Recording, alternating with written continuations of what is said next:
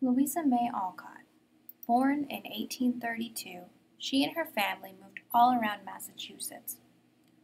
Though they struggled financially, Louisa would use her imagination to keep herself happy as she constantly wrote stories and plays for her and her three sisters.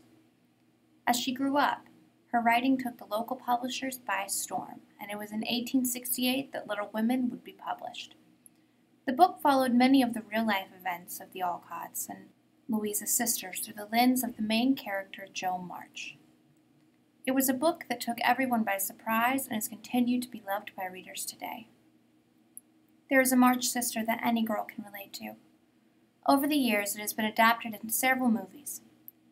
I was able to speak with Mrs. Jan Turnquist, the director of the Louisa May Alcott Museum at Orchard House in Concord, Massachusetts, to discuss the relevance of Miss Alcott today.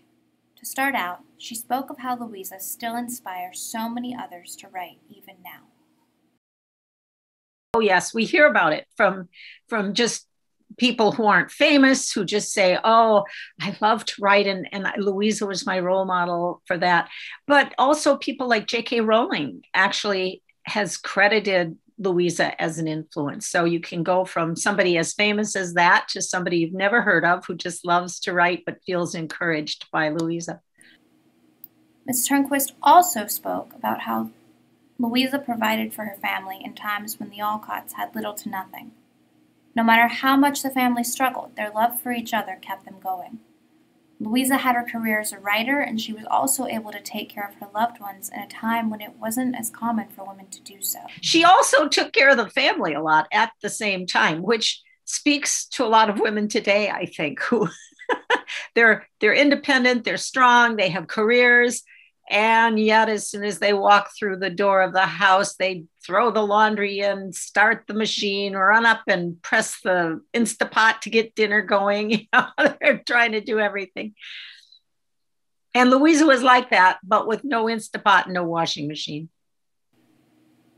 Throughout her life, Louisa never had any intention to marry.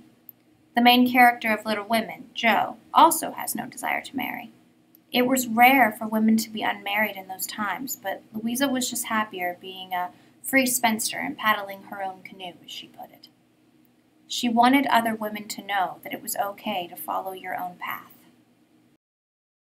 She wanted her readers to know that you could be a strong woman without marrying, that marriage was not the only validation of your life. That's sort of what a lot of people thought at that time. And she she thought that Jo should not marry. In one of her later books work published in 1873 louisa writes about the struggles of many women in different professions that she actually worked in throughout her life.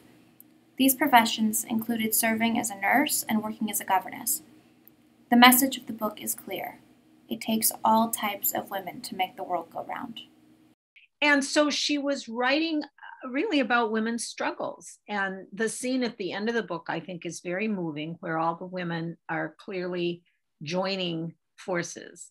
Um, and i think she was she was writing a lot about her own life in that book.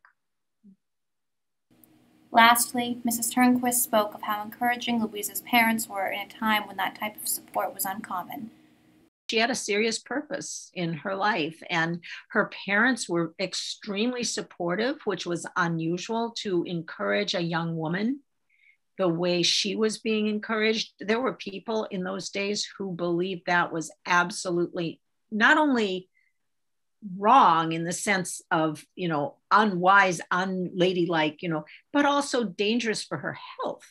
Um, and her family didn't buy that at all. so, and they had a very, very difficult life. They they were struggled financially her entire youth, her childhood and her young adulthood, and I think she was astonished, truly astonished by the success of Little Women, which changed their family finances completely, turned them uh, from struggling with poverty to extremely comfortable, even ultimately wealthy. Louisa, by today's standard, if you take the uh, dollar amount that her income was providing in those days and translate it into today's dollars, she was multi-million. Though she may be forgotten to history, Louisa May Alcott is as relevant as ever and still paves the way for so many others, men and women, today. Reporting for Concord University, I'm Hannah Gates.